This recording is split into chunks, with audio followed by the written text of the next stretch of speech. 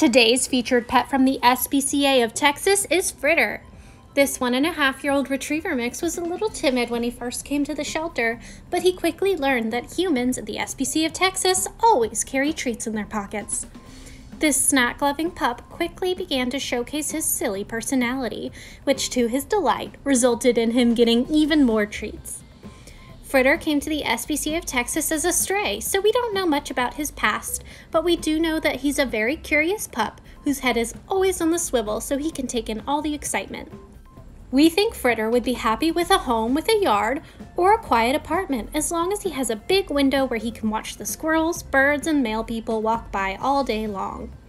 Fritter would love a family with kids five and up, and he'd like to meet the entire household before you take him home. He'd also like to meet any dogs in the home to see if they'll be best buddies. Fritter is neutered, microchipped, and current on all age appropriate vaccinations. Don't forget, for Shelter Pet Summer, Fritter and all other adult animals at our shelters and in foster homes are only $25 to adopt. Adoptions are by appointment only. To schedule a time to meet Fritter, please visit spca.org/dogadopt.